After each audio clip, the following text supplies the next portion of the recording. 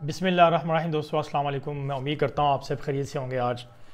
आज बड़ा important topic है कैनेडा के बारे में और एक गुड न्यूज़ भी है इस वीडियो के अंदर। तो टॉपिक पे जाने से पहले एज यूजल मेरे यूट्यूब चैनल को सब्सक्राइब करें फेसबुक पेज नाइल कंसल्टेंट को आप फॉलो करें। फॉलो करने से स्टोरीज़ में जितनी मैं न्यूज़ लगाता हूँ, मैंने आज की डेट में पंद्रह स्टोरीज लगाई हैं, इसमें डिफरेंट न्यूज़ थी कैनेडा वर्क परमिट के बारे में मोस्टली कतर के बारे में न्यूज़ थी। तो आप स्टोरीज पढ़ा कर इसमें काफ़ी इन्फॉर्मेशन मिलती है आप लोगों को। दोस्तों चलते अपने मेन टॉपिक की तरफ़। कैनेडा ने वंस अगेन इस बात का इरादा किया है कि वो टारगेट अचीव करने की तरफ़ जा रहा है। मैं ज़रा थोड़ा सा बैकग्राउंड में लेके चलता हूँ आप लोगों को। जो लोग फॉलोअर्स हैं जो नए हैं मैंने एक वीडियो बनाई थी बाईस अप्रैल 2020 को। ये नया नया कोविड उस वक्त आया था ये। उसमें मैंने आ, मैंने और कहा था ये पाकिस्तान की हमारी पहली कंपनी थी जिसने कैनेडियन प्राइम मिनिस्टर का लेटर पब्लिक किया। वो इमिग्रेशन मिनिस्टर ने अपने प्राइम मिनिस्टर को लेटर लिखा था कि हमारी तरजीहत तीन साल का प्लान दिया गया जो कि उनके प्राइम मिनिस्टर से उनसे मांगा था कि आप तीन साल में इमिग्रेशन के लिए इमिग्रेंट्स के लिए क्या कर रहे हैं। उस लेटर की कॉपी हमें हासिल हुई हमारे इमिग्रेशन ऑफ़िस कनाडा से और हमारी पहली कंपनी है जो हमने उस लेटर को पब्लिक किया। उस लेटर में लिखा क्या था? उसमें क्लियरली मैंशन था कि तीन साल का प्रोग्राम दिया गया कनाडा की तरफ़ से। तीन सालों में बारह लाख लोगों को आबाद करने का प्लान कनाडा ने किया है। हर साल चार लाख, चार लाख जो है चार लाख एक हज़ार, इस साल चार लाख एक हज़ार इमिग्रेंट्स को कनाडा आबाद करेगा। इस टारगेट को सेट करने के लिए कनाडा ने बड़ी वर्किंग की है और कनाडा हिस्ट्री के अंदर, मैं रिपीट करता हूँ हिस्ट्री के अंदर कनाडा फ़र्स्ट टाइम अपना टारगेट अचीव करने जा रहा है। कनाडा ने ये टारगेट 1913 में 1913 में उस वक्त की ये टारगेट अचीव किया था, चार लाख समथिंग टारगेट था। अब ये second time for the first second time history में ये टारगेट अचीव करने जा रहा है। इस टाइम जुलाई तक कैनेडा ने एक लाख तैंतालीस हज़ार one hundred forty three thousand immigration को अप्रूव किया है। कुछ इसमें जो है वो रह गए हैं टारगेट नंबर जो अचीव करने जा रहा है। अभी लेटेस्ट न्यूज़ आई ने क्या कहा है, उस पर और मैं आपको डिटेल में लेकर चलूँगा। मैंने एक वीडियो बनाई थी जनाब ये 22 अप्रैल को वीडियो बनाई मैंने। उसके बाद फिर मैंने एक वीडियो बनाई थी आ, उसके बाद हाँ तीन नवंबर को मैंने वीडियो बनाई 2020 स्क्रीन शॉट्स पर आप देख सकते हैं जैसे मैंने कहा था कैनेडा ने वीज़ों का ऐलान कर दिया। और मैंने एक वीडियो बनाई थी कैनेडियन इमिग्रेशन की तरफ़ से जो रेफरेंस आया था जिसमें कहा गया था टॉप टेन कंट्रीज़ जिस जो कनाडा सबसे ज़्यादा वीज़ा इशू करता है, आप देखते होंगे डिफरेंट कमेंट लोग करते हैं, कनाडा वीज़ा ही देता है कनाडा ये नहीं करता है, कनाडा वीज़ा उन लोगों को नहीं देता जो अप्लाई नहीं करते, जो प्रॉपर प्रॉपर अप्लाई नहीं करते, जिनको अप्लाई का तरीके कर नहीं पता, वो यही कहते हैं कि वीज़ा नहीं मिलता। अब दो, मैं छोटी सी एग्ज़ाम्पल लेता हूँ, दो लोग होते हैं, एक, दोनों आप वीज़ा अप्लाई करता है, एक का लग जाता है, एक का नहीं लगता। जो लग जाता है, भाई वो तो हबी लिफ्ट नहीं करता वो टिकट लेता है, वो पहुँच जाता है कनाडा, वो अपने काम में बिज़ी होता है, जिसका नहीं लगता, वो मार्केट में घूम रहा होता है। वो नेगेटिव इंपैक्ट मार्केट में डाल रहा होता है। क्या बना मेरा मेरा रिजेक्ट हो गया? क्या बना? कभी उस बंदे बैठ के पूछे कि किस बेस से रिजेक्ट हुआ आपका? क्या आपकी हिस्ट्री नहीं थी? क्या आपके डॉक्यूमेंट फेक थे? किस वजह से? उसको पता नहीं होता क्योंकि एजेंट ने अप्लाई किया होता है। लिहाजा ऐसे लोगों के लिए एक वीडियो बनाई थी मैंने। वो प्रूफ साथ लगाया था। टॉप टेन कंट्रीज़ में कनाडा पाकिस्तान सिक्स नंबर पर आया था। टॉप टेन कंट्रीज़ में पाकिस्तान सिक्स नंबर पर आया था। ये बात कर रहा हूँ जून की मई की। फिर जून में एक वीडियो मैंने लगाई, दोबारा इमिग्रेशन ने एक अपडेट दी कि टॉप टेन कंट्रीज़ में पाकिस्तान फिफ्थ नंबर पे आया था जिसको कनाडा सबसे ज़्यादा वीज़ा इशू करता है। ये लोग पाकिस्तान से ही जाते हैं, कहीं और से पाकिस्तान की बात करो, पाकिस्तान से ही लोग जाते हैं। फिर मैंने एक वीडियो बनाई जनवरी 2021 को, जिसमें मैंने कहा था ब्रेकिंग न्यूज़ फ्रॉम कनाडा। ये वीडियो अपनी पूरी सुननी है, इसके अंदर भी मैंने अपडेट्स दिए कि कनाडा के क्या तरजीहत है। टोटल चार वीडियोज़ हैं जिसकी मैं लिंक डिस्क्रिप्शन में शेयर कर दूँगा। आपसे रिक्वेस्ट है, आपने ये वीडियोज़ लाजमी देखनी है। आते हैं मेन टॉपिक तरफ़। कैनेडा ने कि जो इमिग्रेशन मिनिस्टर हैं और जो आई को हेड करते हैं, उन्होंने कहा कि Canada welcomed over thirty five thousand new immigrants in June. इस साल जून में कैनेडा ने साल के सबसे ज़्यादा इमिग्रेंट को अपना वो अप्रूवल दिया कैसे? आपको याद होगा कैनेडा ने जो कोविड की वजह से काफ़ी जो प्रोसेस था वो काफ़ी रुका हुआ था।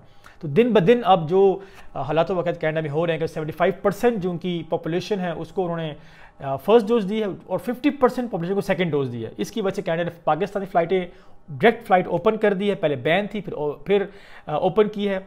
इंडिया से अभी तक बैन है फ़्लाइटें और सितंबर के महीने में सेवन सितंबर में सितंबर में जितने टूरिस्ट ऑल कैटेगरीज है, वो है कनाडा जा सकते हैं, जो सारे वैक्सीनेट है। और अगस्त चार के पाँच अगस्त से, जो लोग यूएसए से कनाडा जाना चाहते हैं, वो अगर फुली वैक्सीनेट है और वो जा सकते हैं, आपको पता होना चाहिए कि यूएस और कनाडा का बॉर्डर कम अज़ कम डेढ़ साल बंद रहा है।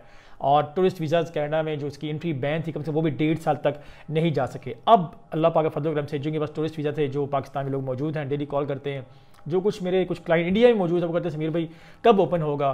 तो बिल्कुल सेवन सितंबर से आप लोग जिनके पास टूरिस्ट वीज़ा है वो जा सकते हैं कैनेडा ये बात मैं यहाँ पे ऐड करता चलूँ कैनेडा छः लाख टूरिस्ट हर साल को वेल हर साल वेलकम करता है। छः लाख। और ये टूरिस्ट मोस्टली एशिया से लोग जाते हैं। तो कैनेडा ने जून में पैंतीस हज़ार लोगों को इमिग्रेंट वीज़ा इशू किया है।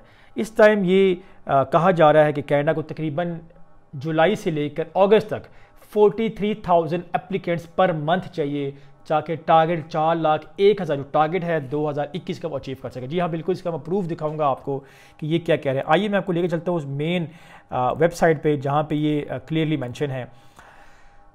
आप देख सकते हैं इस टाइम हम लोग मौजूद हैं IRCC Canada welcomed over 35,000 new immigrants in June Canada ने पैंतीस हज़ार इमिग्रेंट्स को जून में वेलकम किया है। June 21 was the first time during the pandemic Canada land over 25,000 new permanent residents this month ये पैंडमिक यानी कोविड की वजह से फ़र्स्ट पहला ऐसा महीना है जहाँ पे कैनेडा ने पैंतीस हज़ार लोगों को वेलकम किया है।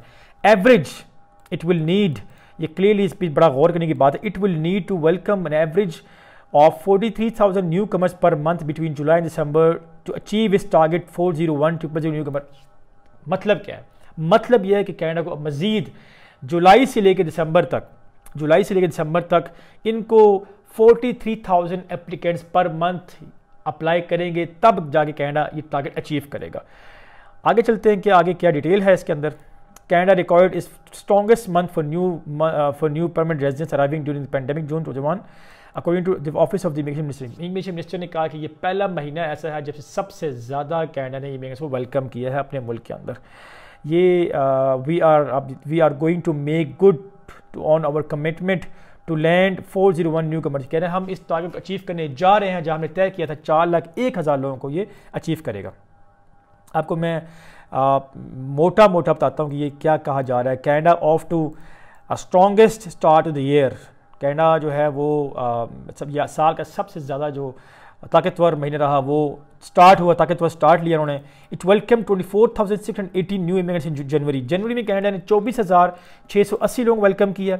उसके बाद फेबरी में तेईस हज़ार तीन सौ पचानवे, मार्च में बाईस हज़ार चार सौ पच्चीस एंड अप्रैल में इक्कीस हज़ार और सब अप्रैल उसमें मई में सत्रह सत्रह हज़ार को वेलकम किया उन्होंने ऑल टुगेदर इन सबको मिलाकर कैनेडा ने एक लाख तैंतालीस हज़ार न्यू इमिग्रेंट्स को अपना जो है सिक्स मंथ के अंदर उन्होंने जो है वो वेलकम किया है। दोस्तों, मैं यहाँ पे एक बात बहुत ये आप देख सकते हैं, सब क्लीन क्लीन क्लियरली मैंशन है इसके अंदर।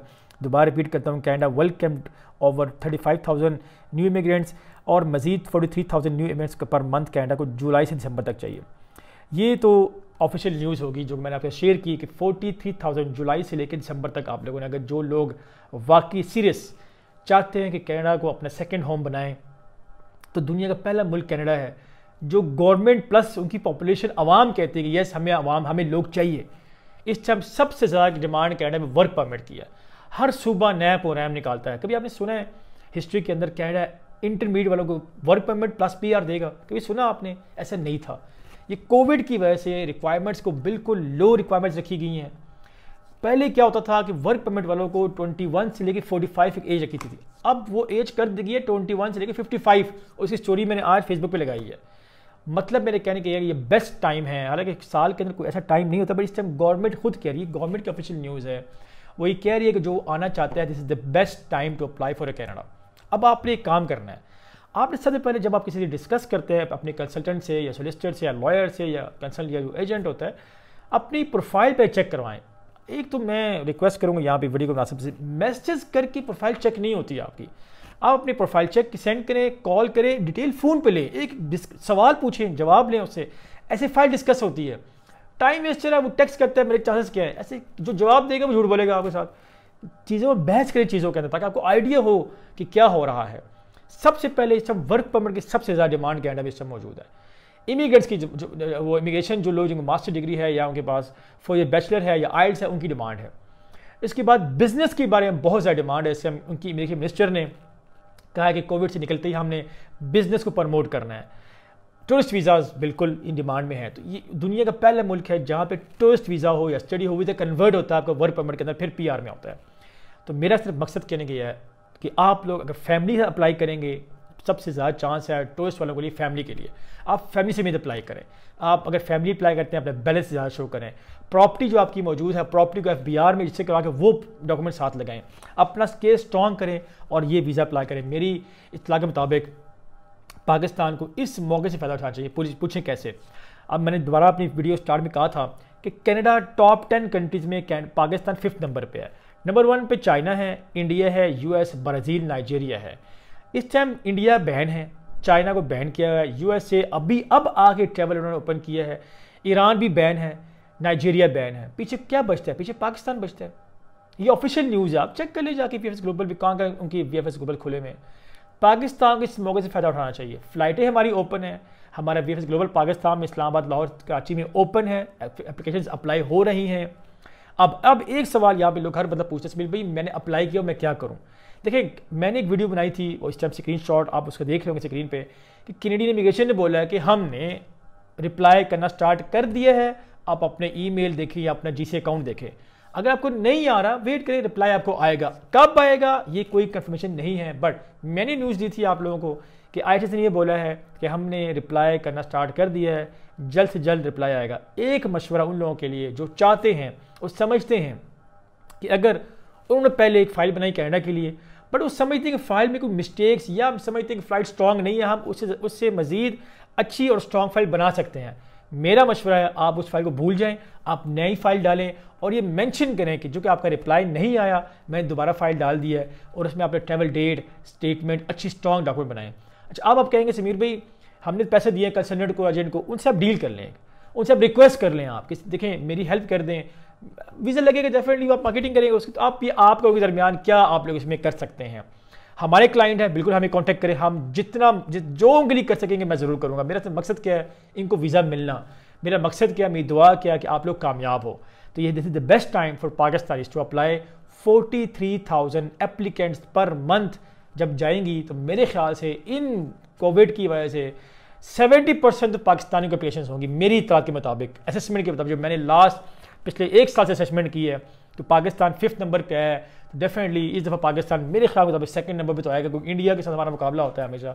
इंडिया इस टाइम बैन है, ना स्टूडेंट जा सकते हैं, ना फ़्लाइट है, उनका ऑपरेशन विफिस ग्लोबल भी बैन है वहाँ पर तो अब अप्लाई ही नहीं कर सकते। इससे रेलिवेंट कोई क्वेश्चन हो तो प्लीज़ आप दिए हुए नंबर पर कॉन्टैक्ट करें ऑफ़िस टाइम में कॉन्टैक्ट करें। ईमेल लिखा हुआ, उसमें भी कॉन्टैक्ट कर सकते हैं। अगर आपकी आपको वीडियो अच्छी लगी है तो प्लीज़ लाइक शेयर कमेंट ज़रूर कीजिएगा। तब तक के लिए, अल्लाह हाफिज़।